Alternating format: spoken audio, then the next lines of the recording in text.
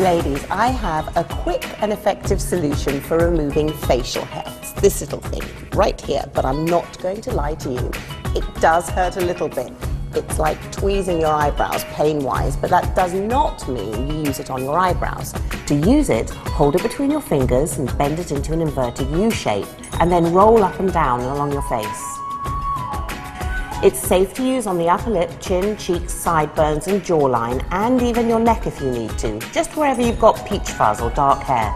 But it does work. It's quick, you can use it before you go out, it doesn't leave any marks on the face and for your personal use it's perfect.